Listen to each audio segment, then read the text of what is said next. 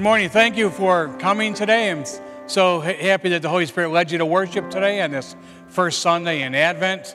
We begin preparing for the arrival of Jesus on Christmas today, and I'm happy that I could be here along with Pastor Carl Heusler to lead you in worship. Uh, we'll be lighting our first candle on our Advent wreath uh, this morning. Uh, matter of fact, we'll do that during the singing of the very first hymn. But again, thank you for coming this morning. You know, I like to say we have other choices.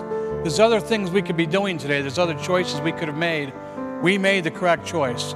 We're here together as brothers and sisters in Christ to give our thanks and praise to God for just all the wonderful blessings we have in our lives. And if you have blessings in your lives, be thankful today because uh, those blessings can be gone in a heartbeat. So thank you for coming this morning. And as always, every time we gather, whether it's a Sunday or Monday or Wednesday or whenever, we hear God's word and we hear and read about God's great love for each of us through his Son through our Savior Jesus.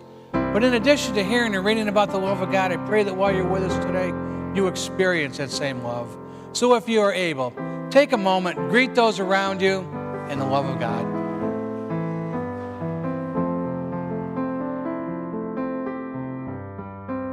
Martin Luther was once asked if heaven is so great, if heaven is so great, then why are we here?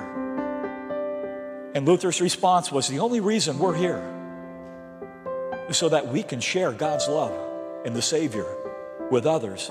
And that's what we strive to do here at St. Paul Lutheran Church. Not perfect, but forgiven and thankful and blessed and when those around us have blessings, we help them to rejoice. When those around us have problems, we encourage them to look up to their Savior. We reach out and we help them. And God bless you. That, that's what so many of you have been doing the last couple of days and today with Pastor Green and, and Cynthia as they struggle with the unexpected loss of his mother. So, what so many of you have been doing with me this past week is I struggle with what's going on with my good friend, Pastor Bruce Darnley. And I see it all the time among you, reaching out to one another within this church and outside this church in the love of God, so that they learn that when we bring our problems to God, He fills our hearts with His divine peace. Your lives are so important because when you leave here, God's love is shining through you to the broken people around you.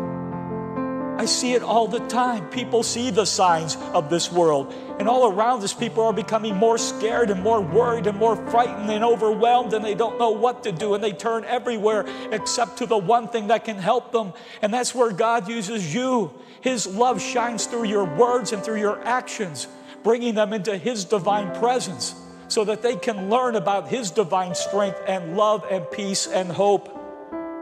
Oh, it is Advent, and we see the signs. And each day we are ready for blessings. Each day we're ready for problems and we look up to our Savior.